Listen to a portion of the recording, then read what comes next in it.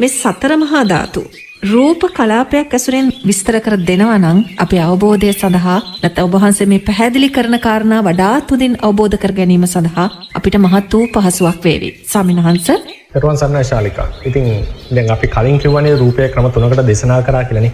එතකොට අපි එකෙන් මම බලාපොරොත්තුනේ දැන් කලින් වචනයක් එක් ගැන කියන්න ඕනේ. ඒ කියන්නේ මේ දැන් සමහර දේශනා අපි දැක්කම කෙනෙක්ට හිතන්න පුළුවන් මේ මේ ඔය ගති ස්වභාව කතාවක් නැහැ. තියෙන්නේ ද්‍රව්‍ය වශයෙන් දේශනා කරා කියලා. අභිධර්ම වගේ දේවල් ඉගෙන ගත්තම සමහරු නෑ නෑ ද්‍රව්‍ය වශයෙන් රූපේ දේශනා කළා නෑ ගති ස්වභාව විතරයි දේශනා කරන්න කියලා ඔය වගේ ටිකක් මතවල ගැටණයක් ඇති වෙන්නත් පුළුවන්. ඒ නිසා මම අර තුන් ක්‍රමයකට දේශනා කරා කියන එක තේරුම තමයි ඒ ඒ සූත්‍රයට අදාළව ඒ දේශනාවට අදාළව බුදුරජාණන් වහන්සේ දේශනා කරපු ක්‍රමවේදය ඉගෙන ගන්න. ඒකට කියන ණය ක්‍රම කියලා. ද්‍රව්‍ය වශයෙන් දේශනා කරලා තියෙනවා, ගති ස්වභාව වශයෙන් දේශනා කරලා තියෙනවා. ද්‍රව්‍ය වශයෙන් දේශනා කරපු එකක් වැඩිපුර උස්සද වශයෙන් වැඩිපුර තියෙන ගතිය යම් ධාතුවක් වැඩිපුර ඇති ද්‍රව්‍යයක් ලෙසත් වෙන ද්‍රව්‍යයකට අසාධාරණ වෙච්ච ගතියක් තියෙන ද්‍රව්‍යයක් ලෙස. ඉතින් ඒ විදිහට ගත්තම අපිට මේ මේ අර තනින් තනින් ධර්මය කියවුවම ඇති වෙන මේ අර අනිත්‍යව වැරදි මේකයි හරි කියලා ඇති කරන අදහස් අපි ටික ටික ඉවත් කරගන්න ඕනේ. මොකද ඔබ තේරවාදය ගැන ප්‍රබල අදහසක් ඉදිරිපත් කරනවා නම් අඩුව තරමේ යම් ප්‍රමාණයකට මූලිකව ගුරු අසුරක් එක්ක මේක අධ්‍යයනය කරලා තියෙන්න ඕනේ. ජම්ප්‍රී. එතකොට තමයි අපිට යම් තාවර අදහසක් කියන්න පුළුවන්. ඒක එහෙමමයි අපේ සමනස සමාවෙන්න මොකද මේ වෙනකොට අපිට දැන් සමාජ මාධ්‍ය එතකොට නව මාධ්‍ය කියන එක ඉතාමත් හොඳින් ස්ථාපිත වෙලා තියෙන කාලයක අපි විවිධ දේශනාවන් අහනවා ඔබ පාවිච්චි කරන නව මාධ්‍ය හරහා සමිනස ඒ වගේ අවස්ථාවලදී ශ්‍රාවකයෝ හරි අසරණ වන තත්ත්වයට පත් වෙනවා කියලා මට හිතෙනවා අපේ සමසද අදහන දේශනාවකින් අපි යම් අදහසක් තුළ ඉඳලා හෙට අහන දේශනාවත් එක්ක සියල්ල වෙනස් වෙනවා. අපේ ජීවිත කාලයම අපි වැය කරන්නේ මෙන්න මේ සංසිද්ධීන් සඳහා අපේ ස්වාමීන් වහන්සේ. එනිසා ඔබ වහන්සේ පැහැදිලි කරන ආකාරයට ස්ථීරසාර විෂන් එකක් දැක්මක් අපේ ජීවිතය තුළ මේ ධහම සම්බන්ධව ඇති කරගන්න අපේ අවසාන අරමුණ සඳහා ඉතාමත් පහසු වෙන අපේ ස්වාමීන් වහන්සේ. ඔව් ඒ නිසා දැන් අපි ඔබතුමිය අහපු ප්‍රශ්නය යොමුණොත් එහෙම භෞතිකව රූපේ බෙදිහකි අවසාන තැන රූප කලාපය ගැන වචනයක් කියන්නට ඕනේ. රූප කලාපය කියන වචනය අපිට තේරවාද ත්‍රිපිටකේ හම්බ වෙන්නේ නැහැ. ඒක කොටින්ම කිව්වොත් එහෙම රූප කලාපයක් කියන වචනය අපිට අභිධරම් පිටක හම්බෙන්නෙත් නැහැ. පට්ටානි අපිට හම්බෙනවා සතරමහා ධාතු ඕනෝන්ට ප්‍රත්‍ය වෙනවා කියන එක. එක ධාතුවක් අනිත් ධාතු තුනට, එක ධාතු තුනක් අනිත් ධාතුවට, ධාතු දෙකක් අනිත් ධාතු දෙකට ආදී දෙසට අන්‍යමඤ්ඤ ප්‍රත්‍යක් නිස්සය සහජාතකිට ප්‍රත්‍ය ටික පට්ටානේදී අපිට හම්බ වෙනවා. ඉතින් ඒකෙන් අදහස් කරන්නේ මේ ධාතුන්ට ඕනෝන් නැතුව ඉන්න බෑ කියන එක. තනියව පවතින්න බෑ කියන එකයි පට්ටානේ කියලා තියෙන්නේ. එතකොට මේ ධර්ම පරියාය පදනම් කරගෙන අපේ අටුවාවල සහ ඒ තේරවාද ග්‍රන්ථවල අපිට හම්බ වෙනවා රූපේ බෙදාගෙන බෙදාගෙන ගියාම අපිට අවසානයේ හම්බ වෙන තවදුරටත් භෞතිකව බෙදිය නොහැකි සියුම් අංශුව කියන එක අපි අර්ථකථනය කරන වචනයක් දෙනවා රූප කලාපය කියලා. කලාපය. කලාපයක් කියලා කිව්වම එතන රූප එතන තියෙනවා රූප සමූහයක්. දැන් නල කලාපී කියන්නේ නල මිටිය කියන එකයි. ඒ වගේ රූප කලාපය කියන රූප මිටිය කියන එක රූප සමූහයක් කියන එකයි. නාම කලාපක් තියෙනවා. නාම කලාපවලට කියන වචනේ තමයි චිත්තුප්පාදය. චිත්තුප්පාදය ඉදිරියේදී අපි කතා කරයි. රූපවල මිටිය තමයි රූප කලාපය. නාමවල මිටිය තමයි චිත්තුප්පාදය. එතකොට මේ රූප තනිව හටගන්නේ සමූහ වශයෙන් හටගන්නේ මොකද ප ဋ ාණ දේශනා කරලා තියෙනවා. එතකොට අපි බෙදාගෙන බෙදාගෙන ගියා අපට අවසානයේ ලැබෙන දේ තමයි මේ රූප කලාපයේ තේරවාදයේ හැටි. දැන් භෞතික විද්‍යාත්මකව ගත්තොත් දැන් භෞතික විද්‍යාව ඉගෙන ගත්ත ඇතතිනේ මෙතන. භෞතික විද්‍යාත්මකව ගත්තොත් සාමාන්‍යයෙන් ලෝකයේ තියෙනවා ස්ටෑන්ඩඩ් මොඩල් කියලා එකක්.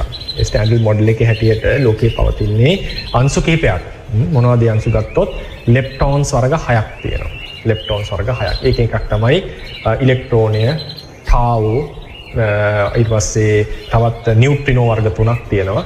ඔය විදිහට ලෙප්ටෝන්ස් වර්ග හයක් අපිට හම්බ වෙනවා. ඊට පස්සේ ක්වාක් කියලා කොටසක් හම්බ වෙනවා. ඒක අප් ඩවුන්, චාම්, මට මතක ඇති ස්ට්‍රේන්ජ් සහ টොප් බොටම් කියලා හයක් තියෙනවා. ඊට පස්සේ එනර්ජි කැරින් නැත්නම් force energy force carrying particles තියෙනවා.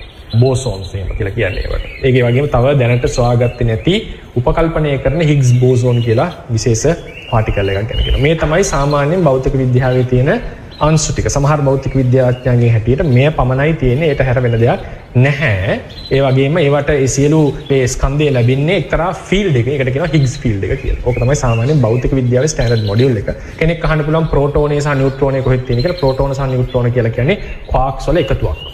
ඒක බිඳලා තියෙන දැනට. එතකොට ඔය විදිහට ගියාම අංශුවලට තමයි භෞතික විද්‍යාව නතර වෙන්නේ. ඒතර බුදුරජාණන් වහන්සේගේ ඒ කියන්නේ තේරවාද දේශනාවත් ගිහිලා නතර වෙන්නේ භෞතික වශයෙන් රූප කලාප වලට. ඒතර කෙනෙක් සමහර අහන ප්‍රශ්නයක් තමයි මේ මේ රූප කලාප කියලා දේශනාවක් ත්‍රිපිටකේ නැහැ. ඒවා මේ අත්දකින්නට බැරි දේවල්, සියුම් දේවල්, ඒවා තියෙන ප්‍රයෝජනය මොකක්ද? ඒතර ඒක අපි මම නිකන් ප්‍රායෝගික කතාවක් කිව්වොත් අපි විද්‍යාවෙන් ප්‍රයෝජන ගන්නවනේ.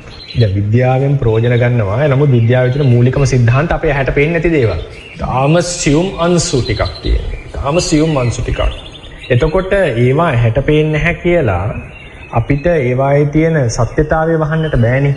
ඒතර විද්‍යාව උගන්වන කෙනෙක්ට කියන්නට බෑ ඕවා ඉතින් තේරුමක් නැහැ. ඒවා මේ ගොඩාක් පොඩි දේවල් අපිට ප්‍රායෝගික නැහැ කියලා අපි කතා කරන්නේ නැහැ. මොකද ඒ ක්‍රමයෙන් තමයි විද්‍යාව විස්තර කරන්නට වෙන්නේ. විද්‍යාවෙන් ප්‍රයෝජන ගන්න මේ මත. ඒ විදිහට ගත්තම තේරවාදයේ හැටියට රූප කලාපය අපිට දකින්නට බෑ. අපේ නුවණට. ඒ කලාප මට්ටමින් දකින්නට බෑ. නමුත් ධර්මයේ විස්තර වෙන්නේ පදනමේ ඉඳලා. එනිසා මතක තියාගන්න යම් ධර්මයක් දේශනා වෙනකොට ඒක නුවණින් දැකිය යුතුමයි කියලා න්‍යායක් තියෙන්නට ඕනේ නැහැ. සමහරු කියන කතාවක් තමයි චිත්තක්ෂණය. ඊතරම් සියුම් දෙයක් බුදුරජාණන්සේ දේශනා කරයිද? රූප කලාපේ වගේ දෙයක් දේශනා කරයි. කියලා කෙනෙක් තරකයක් අහන්න පුළුවන්. එතකොට පෙළේ නැති නිසා ත්‍රිපිටකේ නැති නිසා ඒක අලුතෙන් නැතිවෙච්ච දෙයක්. එහෙම දෙයක් බුදුරජාණන් වහන්සේ අදහසක හිටියේ නැහැ කියලා හිතන්නට පුළුවන්. නමුත් ඥානවන්ත ශාස්ත්‍රවරයෙක් තේරවාදීන්ගේ පැත්තේ ඉඳලා කරන තරකණයක් මම මේ කියන්නේ. තේරවාදී පැත්තේ ඉඳලා බැලුවොත් දෙන්න තියෙන උත්තරයක් තමයි අපේ නුවණට නුවණසට එකපාර දකින්නට බැරි වුණා කියලා ලෝකේ තියෙන සත්‍ය ලෝකේ තියෙන ගැඹුරු යථාර්ථය දේශනා කරන්නට ඕනේ නැහැ. ඕ ඒක ඒක විස්තර කරන්නට ඕනේ නැහැ කියලා එකක් නැහැ. යථාර්ථය දේශනා කරනකොට ඒක අපේ මේ නුවණැසින් දකින්න පුළුවන්ද බැරිද කියන මට්ටම අදාළවන්නේ නැහැ අවසානයේදී. මොකද අපිට වඩා ඥාන චක්ෂුවක් තියෙන කෙනෙක් ඒක දකින්නට පුළුවන්. ඒත් අපිට බලන්නට වෙන්නේ ඒක තාර්කිකද? ඒක සාධාරණ දේ විස්තරේ. ඒක සාර්ථක දේ විස්තරේ කියන එකයි බලන්නට වෙන්නේ. එතකොට රූපේ බෙදාගෙන බෙදාගෙන ගියාම භෞතිකව බෙදිය නොහැකි.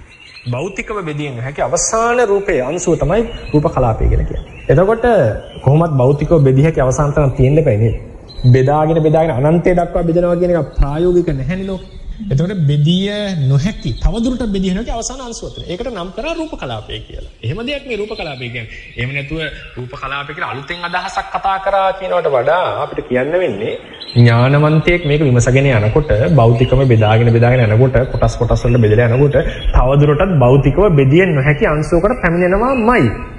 ඒ අංශුව තමයි රූප කලාපය. එතකොට මේ කලාපය බලන්න මේ තේරවාදයේ හැටියට මේ කලාපයත් නිර්මාණය වෙලා තියෙන්නේ ගති ස්වභාව ටිකක එකතුවකින්. මොනවද ගති ස්වභාව ටික? පඨවි ධාතුව කියලා කිව්වා. ආපෝ තේජෝ වායෝ. මොනවද මේ ධාතු හතර? ඕකෙන් ප්‍රධාන වෙන්නේ පඨවි. පඨවි කියන එක ශාලිකා මෙහෙම තේරුම් ගන්න. තද ගතිය කියලා අපි කියනවනේ. ඒක තේරුම් ගන්න අංශු දෙකක් රූප කලාප දෙකක් ගැන හිතන්නකො පොඩියට දැන් ලොකුවට උපකල්පනය කරගන්න ඒක බෝල දෙකක් වගේ හිතන්න. මේ බෝල දෙකක් එකට ඇවිල්නම මේ දෙක එකිනෙක ගැටෙනවා. ගැටෙනකොට එක බෝලයකට අනිත් බෝලය හරහා යන්න පුළුවන්ද? බෑ. විද්‍යාත්මකවත් අපි කියන ඉලෙක්ට්‍රෝන දෙක එකිනෙක ගැටෙනවා. එතකොට ගැටෙනකොට ඉලෙක්ට්‍රෝනට අනිත් ඉලෙක්ට්‍රෝනය හරහා යන්න බෑ. විද්‍යාඥයොත් එක් කියනවා. මොකද අංශු දෙකකට එකිනෙක හරහා යන්න බෑ. දැන් ඔන්න මම මේ විදිහට විස්තර කරන්න පටවිය. රූප කලාපයක තියෙන හොඳට අහගන්න. රූප කලාපයක තියෙන අනිත් කලාපයකට තමන් හරහා යන්නට දෙන්නේ නැති බවක් තියෙනවා නේද? ඒ බව තමයි තදගතිය කියලා කියන්නේ. රූප කලාපයක තවත් කලාපයකට තමන් හරහා තමන් විනිවිද යන්නට දෙන්නේ නැති ගතියක්, තද ගතියක් තියෙනවා. ඒක තමයි පටවි ධාතුව කියලා කියන්නේ. දැන් උදාහරණයකට විද්‍යාත්මකව ගත්තත් ලෝකේ ස්කන්ධය විස්තර කරන ක්‍රම කීපයක් තියෙනවා. ඒකේ ඉනර්ෂ මාස් කියලා කියනවා. ඉනර්ෂ මාස් කියන එක විස්තර කරන්නේ ත්වරණයට ලක් කරන්නට තියෙන බාධා. අංශුවක් ත්වරණයට ලක් කරන්න තියෙන බාධාව තමයි ඉනර්ෂ මාස් මාස් කියලා කියන්නේ. ස්කන්ධය කියලා කියන්නේ. ඒ වගේ තමයි අංශුවකට රූප කලාපයක තියෙන තවත් කලාපයකට ඒ ඉඩට ප්‍රවේශ වෙන්නට දෙන්නේ නැතුව අනිත් කලාපය දුරස් කරන ඒකට විනිවිද යන්න දෙන්නේ නැති බවක් තියෙන. ඒක තමයි තද ගතිය. ඒ තද ගතිය ශාලිකා අවකාශයේ හැමතැනම පැතිරෙන්නේ නැතුව එක තැනකට කැටි වෙලා තියෙන එක තැනකට අල්ලගෙන තියෙන්නේ යම් අභ්‍යන්තර බලයක් නිසා ඒකට කියනවා ආපෝ ධාතුව කියලා. ඒ තද ගතිය තුළ යම් උෂ්ණයක් හෝ සීතලක් තියෙනවා. ඒකට කියනවා තේජෝ ධාතුව කියලා. එතකොට මේ තද ගතිය අර තද ස්වභාවය ආපෝ ධාතුව කියන බලයෙන් ඇතුළට ඇදගන්නේ. ඇතුළට අභ්‍යන්තරයට ඇදගන්නවා. ඒක විසිරෙන්න දෙන්නේ නැහැ. තේජෝ ධාතුවත් එතන පවතිනවා. ඒ තදගතිය ඇසුරු කරගෙන. තදගතිය තමයි මෙතන ප්‍රධාන. තදගතිය තමයි ආපෝ වලින් හකුලවන්නේ. තේජෝ වලින් පැසවනවා කියලා කියනවා අපි. ඒක ටිකක් විස්තර කරන්න ඕන දෙයක්. නැදලව අපි කියමු පැසවනවා. ඒ උෂ්ණය සීතෙන් ඒක පැසවනවා. ඒ පැසවන්නේ තදගති ප්‍රධාන වශයෙන්. අනිත් ධාතු වලට බලපෑම තියෙනවා. එතකොට දැන් බලන්න මේ ධාතු තුන විතරක් තිබුණ මොකද වෙන්නේ? තදගතිය ඇතුළටනේ අභ්‍යන්තරයට ඇදගන්නේ. තේජෝ ධාතුවත් අභ්‍යන්තරයට ඇදෙනවා. එතකොට මේක ස්ථායි නෑ. මොකද අභ්‍යන්තරයට කලැප්ස් වෙනවා මේක. එතකොට මේක ස්ථායි වෙන්නට මං බාහිරට තල්ලුවක් තියෙන්නට ඕනේ හතර පැත්තට අහම් පැත්තට. ඒ පුම්බවන ගතියක් බාහිරට තල්ලුවක් ඇති වෙන එක තමයි වායෝ ධාතුව. දැන් මොකද වෙන්නේ? අභ්‍යන්තරයට ආපෝ වලින් අදිනවා. ඒ නිසා පටවි විසිරෙන්නේ ඒක සම්පූර්ණයෙන් හැකිලෙන්න දෙන්නේ නැතුව බාහිරට තල්ලු වෙනවා. එතකොට පටවිය හැකිලෙන්නේ නැතුව තල්ලු වෙනවා. හැබැයි තල්ලු වෙච්ච එක පුපුරන්නේ නැත්තේ ඇයි? ආපෝ වලින් අල්ලන් තියෙන නිසා. දෙපැත්තට බල දෙකක් වැඩ කරනවා. එතකොට මොකද වෙන්නේ? යම් අවකාශයක යම් අවකාශයක පටවි ධාතුව හැසිරෙන්නට පටන් ගන්නවා. අන්න රූප කලාපය කියන එක තේරවාදයේ බෙදෙන ක්‍රමය ඕකයි. තාම ලස්සනයි මේක. තාම ගැඹුරු දර්ශනයක්.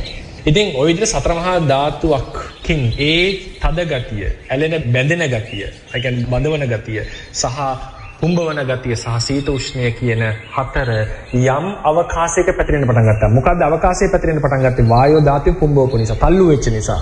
ඒක පිපුරන්නේ නැතුව විසිරෙන්නේ නැතුව ගියේ ආපෝ ධාතුවෙන් අල්ලගෙන ඉන්නේ අභ්‍යන්තරයට. එතකොට අවකාශයේ සතර මහා ධාතුව යම් අවකාශයේ යම් ප්‍රදේශයක හැසිරෙනවා නම් ඒ ප්‍රදේශයේ පවතින සතර මහා ධාතු වල එකතුවට අපි කියව රූප කලාපය කියලා. ඇත්තටම මොකද රූප කලාපය කියලා කියන්නේ පනවා ගැනීමක් තියෙන සතර මහා ධාතු විතරයි. රූප කලාපය කියන්නේ ප්‍රඥප්තිය. ඊළඟට එක තමයි මේ කලාප කලාප දැන් කලාප දෙකක් තියෙනවා නම් ඒ කලාප දෙකක් අතර සාමාන්‍යයෙන් ગેප් එකක් තියෙනවා. ඒ ગેප් එක තමයි ස්වභාවයෙන්ම පැවති අවකාශ ධාතුව, ආකාශ ධාතුව. එතකොට මේ කලාප දෙක අතර සතර මහා ධාතු වල බලපෑමක් තියෙනවා. හොඳටම තියෙන බලපෑම් දෙක තමයි ඉස්සර ගන්න ආපෝ ධාතුව. ඒ කියන්නේ ළඟ තියෙන කලාප දෙකක් එකිනෙක වෙන් කරන්න ගියාම ලොකු අමාරුයි බැඳිලා තියෙන කලාප දෙකක් එකිනෙකට. ඒ නිසා ආපෝ ධාතුව කලාපෙන් පිටතට බලපානවා. ඒ වගේ මතක තියාගන්න උෂ්ණයේ තියෙන රූප කලාප ටික ළඟට ගෙනාම අනිත් රූප කලාපේ වෙනසක් සිදු වෙනවා. තේජෝ ධාතුවත් කලාපෙන් පිටතට බලපානවා. කලාපයක් තව කලාපයක හැපුණම ඒ කලාපේ අනිත් කලාපේ විසි වෙනවා. වායෝ ධාතුවෙන් තල්ලු වෙනවා. කලින් කලාපේ වායෝ ධාතුව ඊළඟ කලාපයට බලපානවා. මේ විදිහට අන්තර් කලාපීය සතරමහා ධාතුවකුත් අපිට ධර්මයේ දැක් ගන්නට පුළුවන්. ওই විදිහට ගත්තම කොහොම තමයි අපි කලාපයක් ඇසුරෙන් මේ සතර මහා ධාතු විස්තර කරනවා. ඒක දීර්ඝ විස්තර කරන්න ඕන දෙයක්. මොකද කලාපය, රූප ශරීරය, රූප సంతානයේ ආදි ලෙස ලෝකේ යන්නට ඕනේ. ඉතින් අපි දරල සරලව මේ අපි සැකවින් තේරුම් ගන්න නිසා ওই විදිහට තමයි අපි රූප කලාපය ඇතුලේ සතර මහා ධාතු විස්තර කරන්නේ. අපේ ස්වාමීන් වහන්සේ දැන් හිත දියුණු කරාම එක්තරා මට්ටමකට ආවට පස්සේ ওই සියලුම කාරණා ප්‍රකට වෙනවද අපිට? මේක කලාප මට්ටමින් ප්‍රකට කරගන්න බැරි වෙයි. නමුත් මේකේ තියෙන සත්‍යතාවය වැටහෙන්න පටන් ගන්නවා. උදාහරණයකට මම කිව්වොත් එහෙම ඒක අපි භාවනා ගැන කතා කරනකොටත් කතා කරයි. දැන් යෝගියාට භාවනා කරන් යනකොට පටවි ධාතුව ඇසුරු කරමින් තේජෝ පවතින හැටි. ඊට පස්සේ ආපෝ ධාතුව විසින් ඉතිරි ධාතුන් අල්ලගෙන තියෙන හැටි ආදිය ප්‍රකට වෙන්නට පටන් ගන්නවා. ඒ නිසා මේ විස්තර කරන එක සර්ව සම්පූර්ණයෙන් දැනගන්නට එක එක්කෙනාගේ ඥානය අනුව මට කියන්නට තේරෙනවා. සමහර කෙනෙක්ට තේරෙන්නට පුළුවන් මේ එහෙම ගැඹුරින්ම සමහර ඥාන අධිකායිට. නමුත් යම් ප්‍රමාණයකට මේවා තේරුම් ගන්නට පුළුවන්. හොඳයි ස්වාමීන් වහන්ස. ඉතින් මේ තේරුම් ගැනීම තුලම නිවීම සහ අපේ තියෙන ගැටලු රැසකට පිළිතුරු ලැබීම කියන කාරණය ඔබට දැන් ටිකෙන් ටික අවබෝධ වෙනවා ඇති කියලා මම විශ්වාස කරනවා. අපේ ස්වාමීන් වහන්සේගේ පැහැදිලි කිරීමට අනුව අපි අපි පිළිබඳව බාහිර ලෝකයේ පිළිබඳව කරන ලද පනවා ගැනීම සහ අප තුළ තියෙන මති මතාන්තරත් එක්ක අපි විඳින මේ දුක ටික ටික ටික ගැලවිලා යන විදිහ අපිට අත්දකින්න පුළුවන් මේ තේරුම් ගැනීමත් එක්කම.